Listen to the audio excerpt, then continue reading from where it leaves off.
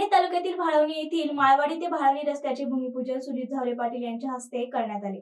यावेळी नागरिकांचे प्रश्न सोडवण्यासाठी कुठल्याही पदाची आवश्यकता नसून कोणत्या ना कोणत्या विकास निधीतून विकास कामे मार्गी लावण्याचा माझा मानस असून लोकसेवेसाठीच माझा जन्म झाला आहे असे मत जिल्हा परिषदेचे माजी उपाध्यक्ष सुजितराव झावरे पाटील यांनी व्यक्त केले आहे. अहमदनगर जिल्हा परिषदेच्या लेखाशीर्ष अंतर्गत पंधरा लक्ष रुपये मंजूर करण्यात आला आहे. सदर रस्ता यापूर्वी सुजित झावरे पाटील जिल्हा परिषद सदस्य असताना झाला होता. या रस्त्यासाठी माळवाडी ग्रामस्थांनी यांनी काही दिवस अगोदर मागणी केली होती. एक महिन्याच्या आत सदर रस्ता निधीसह मंजूर करून प्रत्यक्षात काम करण्यात आले. या रस्त्याविषयी प्रचंड अपेक्षा असल्याने सदर रस्ता मंजूर झाल्याने माळवाडीकरांच्या चेहऱ्यावरील हास्य फुलले. यावेळी सरपंच सौ लीलाबाई रोहकले शिवसेना तालुका प्रमुख विकास रोहकले उपसरपंच संदीप ठुबे चेअरमन मंजबापू रोहकले पंढरीनाथ रोहकले विकास रोहकले संदीप कपाळे ठकचंद रोहकले ग्रामपंचायत सदस्य भागुजी दादा रोहकले सीताराम रोहकले स्वप्नील राहीर रमेश रोहकले रावसाहेब रोहकले माजी chairman Chavan Gangadhar Rohakale Babanrao Chemate Dnyandev Mauli Babanrao Dawkar DY sir Rajendra Rohakale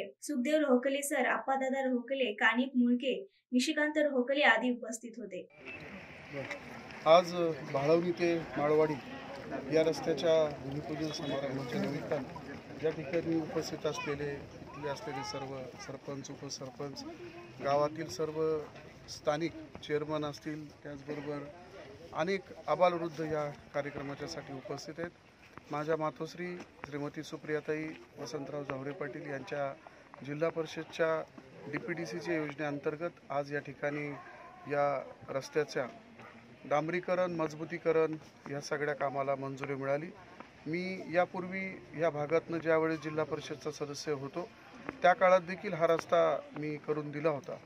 परंतु मध्ये काही ठिकाणी अनेक मोरी पुलाची आवश्यकता असल्याने व त्या काळामध्ये ते झाले नसल्याने आज बऱ्याचशा ठिकाणी रस्ता ज्याला आपण थोडासा चढउतार त्याच्यामध्ये तयार झाल्यामुळं ग्रामस्थांची अत्यंत येण्या जाण्याची गैरसोय होती.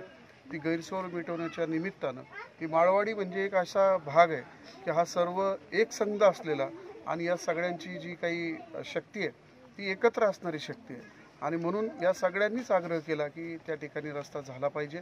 आणि येत्या ही जी काही डी पी डी सीची मिटिंग आहे त्याच्यामध्ये त्याला मंजुरी मिळाली. आज त्याचा प्रत्यक्ष शुभारंभ झाला. आणि ठेकेदार दोन त्या दिवसातच मला वाटतं उद्या किंवा परवापासूनच त्याचं काम निश्चितपणे सुरू करतील अशी आशा मी या ठिकाणी व्यक्त करतो. आणि ह्या माळवाडीकरांनी यापूर्वीच्या काळात मला अत्यंत मोलाची अशी साथ दिलेली आहे.